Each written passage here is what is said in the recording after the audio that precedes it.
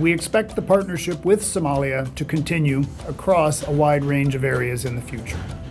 This includes support for security and state building, support for humanitarian needs, support for development, assistance with local governance, service delivery, human rights, the inclusion of women and youth, and ensuring the representation of minorities and other marginalized groups in political processes and decision making.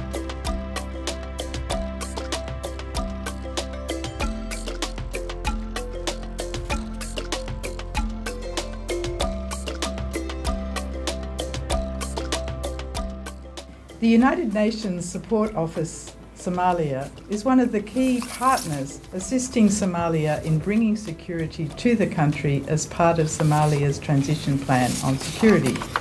We are here for the Somali people and support their vision for a peaceful, stable, and developed Somalia.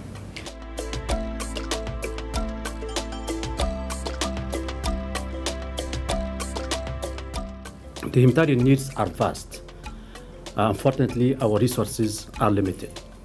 Humanitarian partners have been racing against the clock to deliver aid and protection to the most vulnerable Somalis. Every month, 2.3 million people out of 4 million targeted by the humanitarian response plan uh, receive life-saving supports.